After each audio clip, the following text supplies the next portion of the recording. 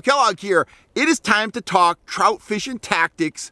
Um, you know, everybody talks a lot about dodgers and flashers, and I'm no exception to that rule. Those are great tools for attracting fish to your spread, and then, you know, they identify the bait or the spoon or the fly. They hit that, fish on, got a big smile on your face. Awesome.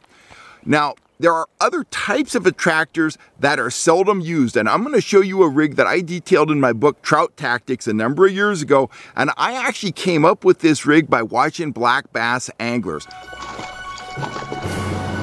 If you want to tangle with fickle, hard to hook trout, you need to be pulling soft plastic grubs. If you want to get into grub trolling, get on over to fishhuntshoot.com and grab one of Cal Kellogg's signature series grub kits today, and you'll be yelling fish on tomorrow.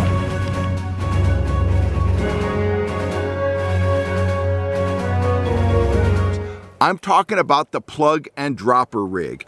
And uh, before I show you the rig, let's talk a little bit about those black bass guys. I was actually talking to my buddy Dan O'Sullivan, and this has got to be 12 years ago.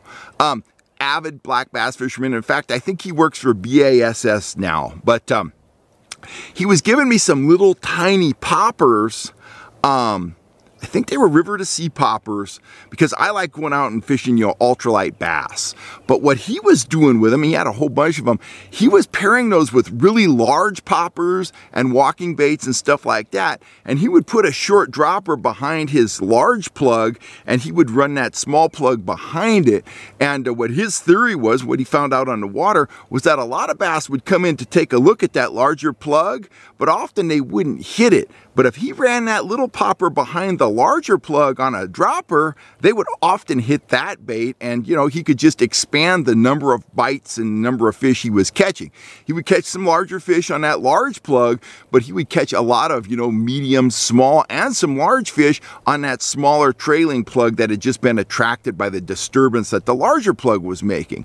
Well, I decided to apply that to trout fishing, but you know, trout don't take top waters. I wasn't going to do that with a top water plug, but what I decided to do was to team smaller offerings with larger diving plugs. And this is what I came up with. And you, you know, you can use your imagination. The large plug, it could be a large mag lip. In this case, it is a Rapala Husky Jerk. It could be a Rebel. It could be a Yo-Zuri. It could be any kind of a large plug and uh, what you want to do, you take that plug, remove the back hook, put on a swivel, put on a short section of leader, and then run a much smaller lure or bait behind that plug. In this case, I got one of my micro trigger spoons.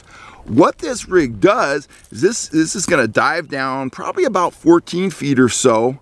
Um, the large plug is going to attract trout of all sizes. Now, if I, you know, come in contact with a real bruiser, a big brown or something, he may well grab the large plug, fish on, terrific. You'll find when you run this rig, you'll catch, you know, 10 or 15% of your fish on the larger plug. And sometimes it'll make you scratch your head. Sometimes you'll catch a 10 inch trout on this, on this plug. But the majority of the strikes will come on the trailing plug, a trailing fly. Grubs work great for this, a small piece of threaded worm, whatever. I found I have really good luck with the micro trigger spoons, Dick Nite, stuff like that. Just a small flashy spoon the rule of thumb on the dropper length is kind of the same as you'd use with a with a large Dodger, you know. It's two to three plug links behind the plug, that's where you want to position your lure. So if you're using, you know, a three inch mag lip, maybe you want to have it back nine or 10 inches, something like that. If you're using a six inch uh, Husky jerk like this, you could go 12, 14, all the way out to 18 inches.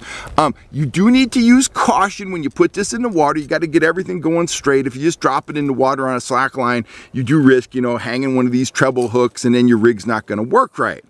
The other downside of a rig like this is that when you hook a fish on the trailing bait, um, the, the plug is going to continue working as you fight that fish. That means there's more drag and it also means that the fish, you know, he can work against the leverage of the plug and oftentimes you know, if, if, if the situation's right and they can, you know, develop slack between the plug and the hook in their mouth, they could throw that hook. But uh, as I've said here on the channel before, I would rather hook fish and lose fish than not hook fish at all because I know I'm gonna land a certain percentage of those hooked fish. So this is a rig you can play with.